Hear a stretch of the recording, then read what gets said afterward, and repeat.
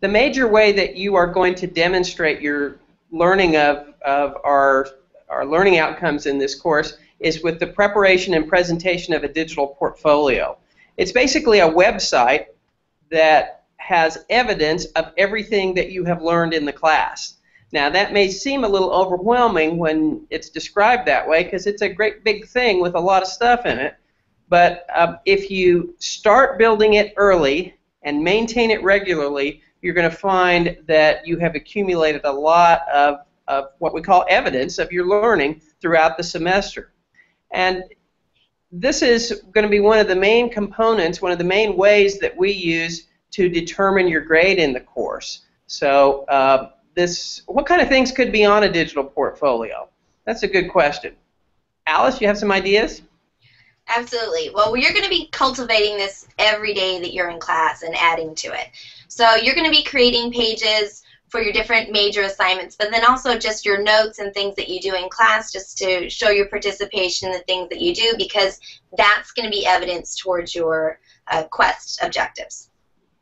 The other so, thing that might, sorry, I'm sorry, I didn't mean to interrupt you, Alice, but the other thing that, that your digital portfolio is really uh, excellent for is when you go to find a job, this is something that you can show a prospective employer. Go in and, and show this to the principal that you're interviewing with and say, this is the, the digital portfolio that I have been building throughout my uh, learning experiences here at Fresno State, and it has evidence of some of the different kinds of things that I do, like different lessons that I prepared, different technology skills and abilities that I've accumulated. So it can be a real powerful uh, statement of what you've learned.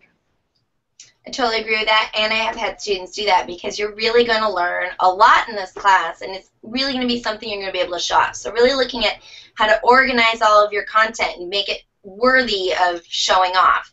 Um, your lesson plans that you're going to do in this class, you're going to embed in the page. Uh, everything you do is going to be in the context of wanting to be a teacher, right? What are you going to do in the classroom? So everything should be a sample of how it's going to be used and how you plan on teaching with it and things that you can demonstrate to your future employer. Hey, I know how to do this. You should hire me. One more important point that I want to mention that's that's a critical component of your portfolio, and that is reflection. Really, uh, everything that goes in your in your portfolio should contain a meaningful reflection that goes that accompanies it. And this reflection is not a description of what you put in there, but it's more a reason why it's in there. So it should have a, a, brief statement about what this piece of evidence is. This is a lesson plan that I wrote, and here's why it's important.